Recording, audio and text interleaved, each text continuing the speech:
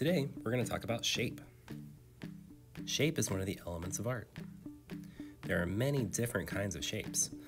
Let's see if you can name a few.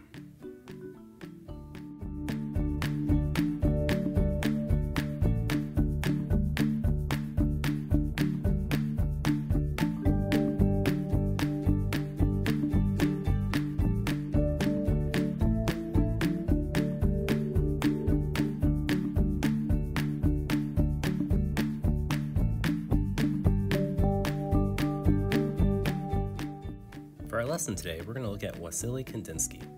Kandinsky is an abstract artist who was very into shapes. Kandinsky would wonder, what happens if I repeat a shape? And repeat it again, and again, and again.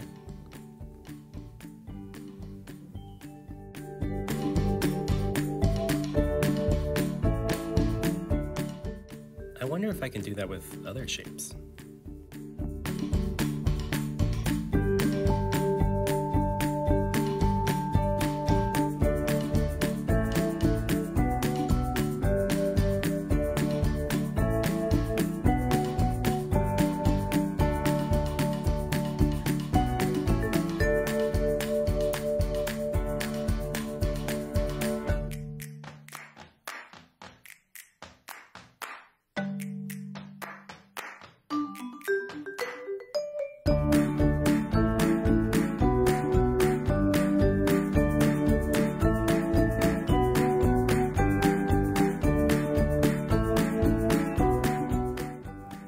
Create our own Kandinsky inspired designs.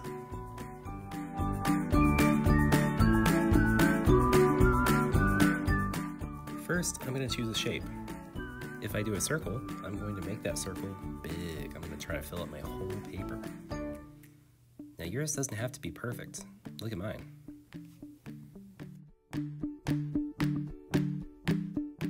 I have some room on the outside, so I'm going to pretend that my circle goes off the page.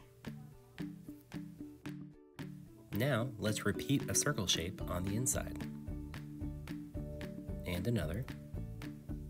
And another.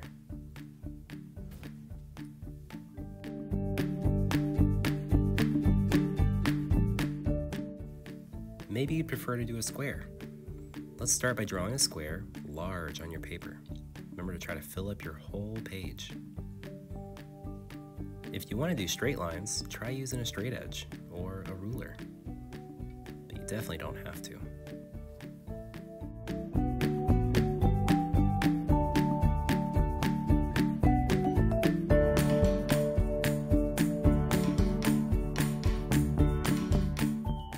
What about a triangle?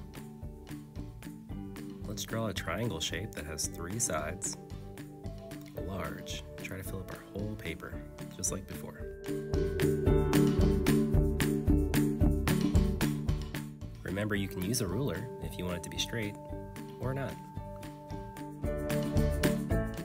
Just like on my circle, I have a lot of empty space, so I'm going to continue my triangles going off the paper.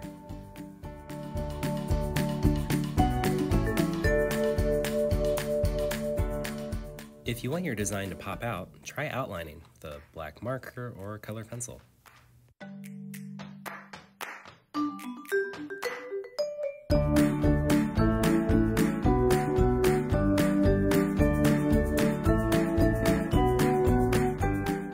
Finally, color each shape using a pattern.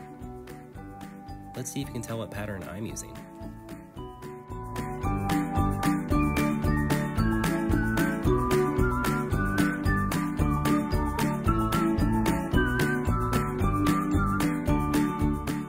Your art challenge this week is to draw a shape on your paper. Repeat the shape four to five times. Outline your pencil marks.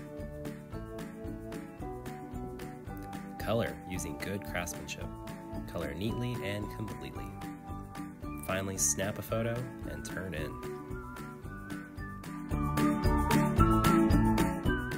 Get creative, have some fun. I cannot wait to see what you guys come up with.